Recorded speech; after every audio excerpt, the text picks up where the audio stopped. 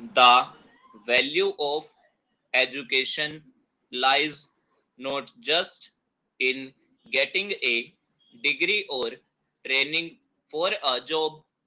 The real value is in giving back to society and in helping those less privileged and less fortunate than us it is with the sentiment that Guru Nanak College has extended a special facility in partnership with an NGO that runs a school for special children, that is, children with special needs.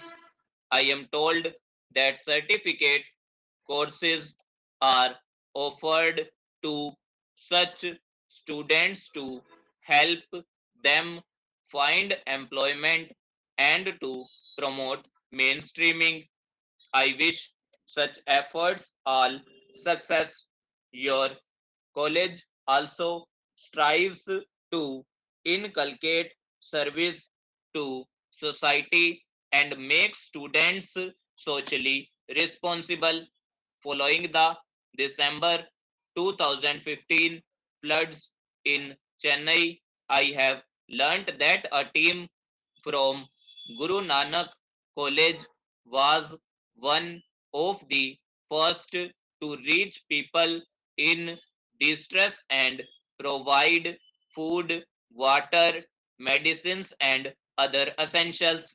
The University of Madras has both benefited from and contributed to a tradition of scholarship that is central to Tamil Nadu's identity.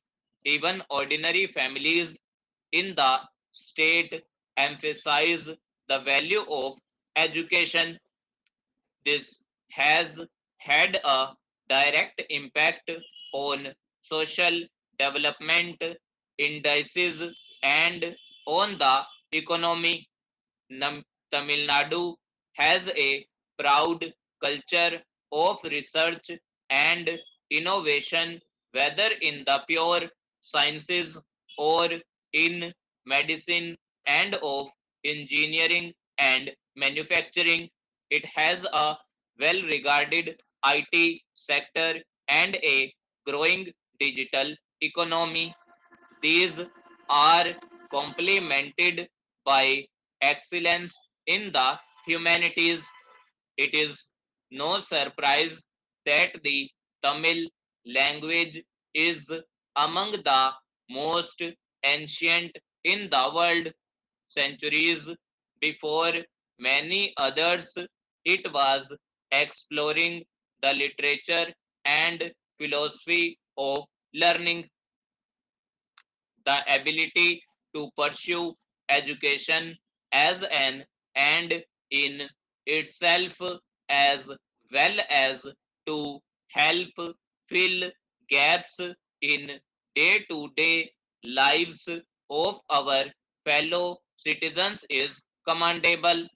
In this context, the people of Tamil Nadu and institutions such as the University of Madras are a model for our country. Inevitably, it is to institutions such as these that we turn for direction and leadership at the beginning of the 21st century. This is an exciting chapter for India. We are looking to become a developed society and to urgently eliminating poverty as well as ensuring health care, education, housing, and energy access for all our people. Simultaneously, our country is seeking to meet the opportunities as well as the challenges of the fourth industrial revolution of robotics, genomics, and artificial intelligence. universities such as this one are expected to be our navigators on this journey. Institutions in Tamil Nadu have shown commendable agility in nurturing an ecosystem that helps engineers and other qualified young people to become entrepreneurs and job creators. This is the route to the future and this is the pathway for the youth of our country.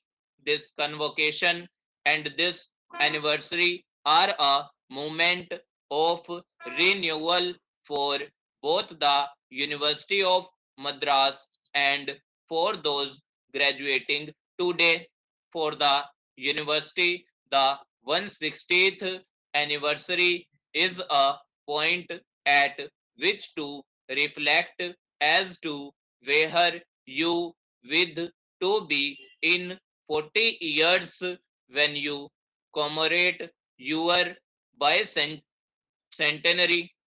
This university needs to aspire to the next level to benchmark itself against the best in the world and to continue to remain competitive for top students as well as top faculty.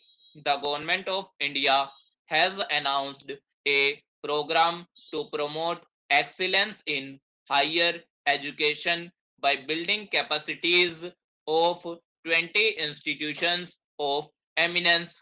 I am told that the University of Madras has prepared an ambitious and detailed plan in this regard and I wish you all the best.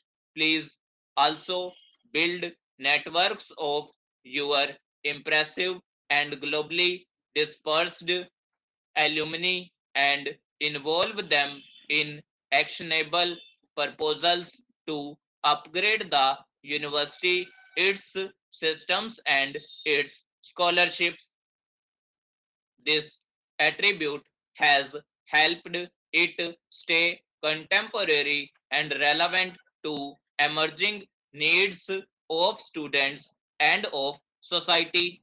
The range of courses and subjects offered here symbolizes this and spans the traditional liberal arts to 21st century disciplines. History and economics are taught here and so are anthropology and religious studies. And today this university has room for, among others, bioinformatics, nanoscience, etc. And to the students who are graduating today, I can only say that you are entering a world teeming with opportunities. You have been fortunate to have experienced education in a university of such standing. Not everybody has this privilege as you leave this campus. Carry your learning with humility in some manner or in any manner you choose. Give back to society and to those who are less well off let that be the true test of your education. I am happy to be with the cream of our cinema industry for the 65th National Film Awards ceremony. I must begin by congratulating each